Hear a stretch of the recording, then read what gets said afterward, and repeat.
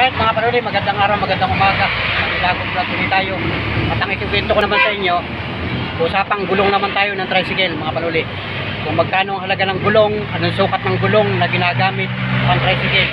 Kung yung ba'y tangos na o kalbo na o mataas pa yung kanyang ah, spike. So, alright mga panuli, sabay na yung akin sa. At uh, ikikwento ko sa inyo kung anong mga gulong ang ginagamit namin gamit pang tricycle mga panuli. Let's go mga panuli. Right mga panulit, itong ah, tricycle na ito, barako, bago pa ang gulong nito mga panuli. Napakita ko sa inyo yung gulong niya. Halos ito ay tatlong buwan pala ang ginagamit yung gulong niya. Mga panuli, bagong bago ang gulong. Mga panuli. Yan, may pangalan siya mga panuli, oh, heavy duty.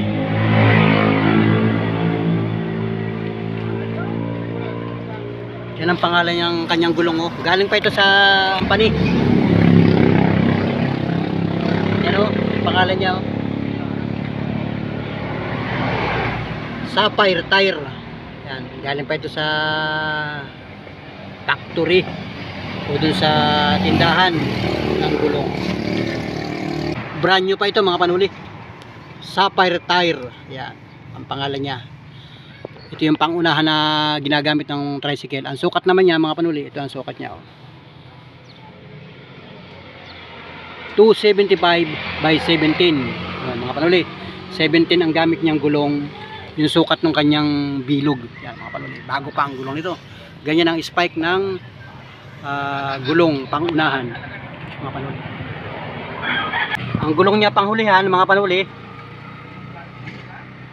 Yan o, ang sukat niya 300 by 17. Mas malaki siya 300 by 17 kasi panghulihan siya. Ang spike niya, ganito ang spike niya. Banana type. Tawag yan mga panuli. Ang gulong niya sa sidewheel mga panuli. 300 by 17 din. Yan. Sidewheel ito na tricycle mga panuli. Ang gamit niya ay mags. Ay banana type mga panuli. Ang gulong niya sa ulihan ang tatak ay sapphire din. Nagkakahalaga siya ng 780. Yan mga panuli, hindi pare-parehas ang mga presyo kasi iba-ibang ah, brand. Merong ah, 600 plus, 700 plus, merong 800 plus. So, ganun ang presyohan ng uh, pan-tricycle conforme sa sukat ng gulong. Yan, Papakita ko sa inyo yung ibang sukat mamaya. Let's go mga panuli. Ang ah, pangunahang gulong, ito yung spaghetti type. Nagkakahalaga siya, nagkakahalaga siya ng ah, 600 plus to 700 plus. Ganyan. Sa, sa ngayon, mga panuli, dati-rati, mura lang yan.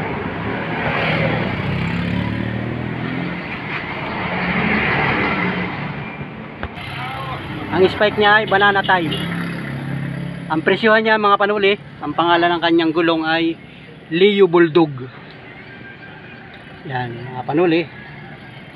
Ang ah, sukat niya ay 300 by 17. Ang presyohan niya ay 780 plus. Yan, mga ganon, mga panuli. Hindi, hindi siya bababa ng 600 kasi iba-iba ang presyo ng mga gulong sa mga tricycle spare part tindahan. Ito yung pangunahang gulong niya, mga panuli. Ang tatak ng kanyang gulong ay kinda. Yan, mga panuli, kinda. So, mas mahal ito sa mga bagong gulong. Pag bibili ka nito, mas mahal ito. Umaabot ito ng 900 plus. Doon siya naglalaro sa presyo na ganon. Kasi ibang pangalan ang kinda. May quality siya. So, ito ay tangos na mga panuli. Gamit na ito ng pantricycle. Matagal-tagal na rin gamit ito. Baka ito ay mahigit isang taon na rin gamit. Ang gulong na pangunahan ng tricycle. Ganyan tumatagal yan.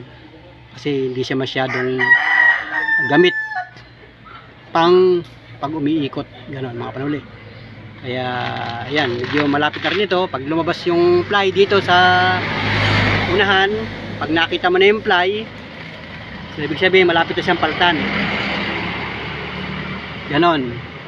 Iba-iba din presyo, conforme din sa pangalan. Mayroong mumurahin, abot ng 600. Yan, ganon mga panuli. At ito, bago rin ang gulong nito. Ang pangalan nito ay Sony Tire. Yan, mga panuli, Sony Tire.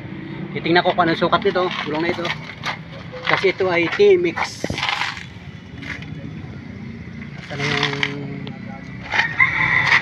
Yung medyo malabo.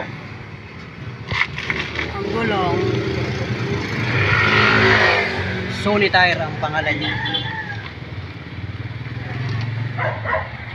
Ngayon, nakatago. 275 by 18. So, yun ang pagkakaiba. Mga panuli, ito ay by 18. Yung bilog niya by 18. Ito naman ay flower type. Ang hugis ng kanyang gulong, mga panuli.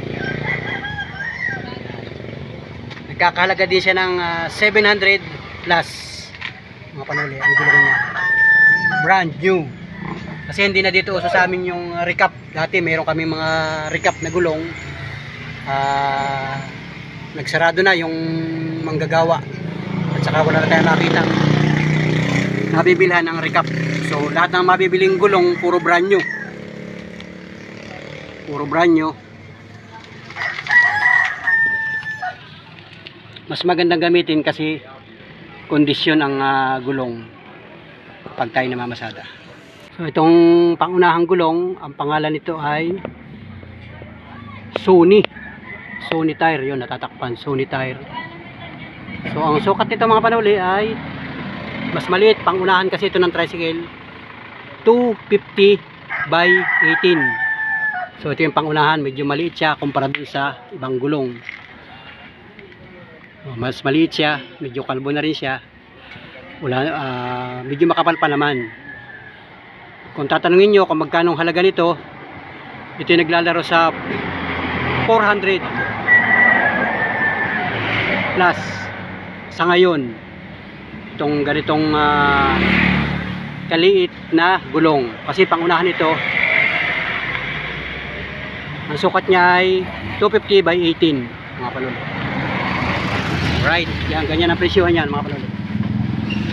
Ito naman ay banana type mga panuli banana type ang sukat din ito ay 300 by 18 naglalaro din siya ng ah, price niya 780 plus yan, ganyan ang presyohan yan ng mga gulong na ginagamit ng tricycle so makapal pa ito mga panuli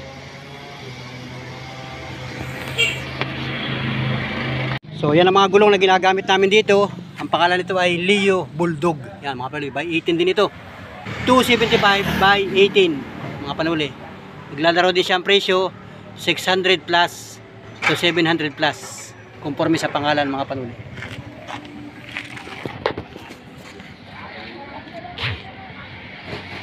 So right mga panulit, yan yung mga gamit na gulong ng mga tricycle dito sa amin, pampasada. Mabibili naman yan mga panuli, available na mabibili mga gulong sa mga spare part ng mga tricycle dito sa bayan sapagkat napakarami ng mga tindahan dito ng spare part ng mga tricycle. Let's go! At ah, ito yung mga tricycle na ipinakita ko sa inyo. Gulong na ginagamit ng tricycle. So shout out sa lahat ng mga viewers, sa lahat ng mga subscriber. Maraming salamat po at sana may nakuha ng kayo ng kaunting idea sa aking vlog. Salamat po, salamat. Panuli Official YouTube channel. Salamat po.